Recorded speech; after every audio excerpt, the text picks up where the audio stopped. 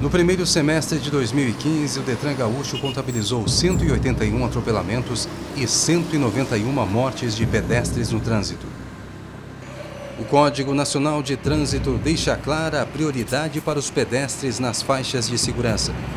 Onde o pedestre encontra um local que é semaforizado, ele deve acabar respeitando então aquele espaço onde tem o semáforo. Aonde não exista né, um semáforo específico para o pedestre, onde não tem um semáforo específico para o veículo, naquela situação onde eu tenho a faixa de segurança, por legislação, o condutor do veículo deve né, parar o veículo para dar então a prioridade na travessia do pedestre.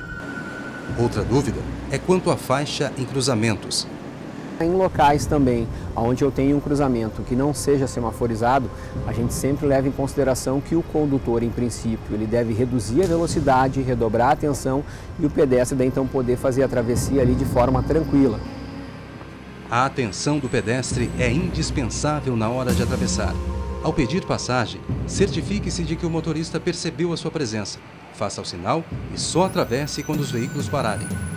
O pedestre adulto deve sempre educar as crianças para a correta utilização da faixa.